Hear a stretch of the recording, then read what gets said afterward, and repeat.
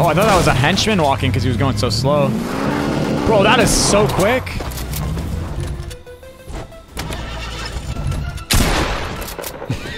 no way we're doing this.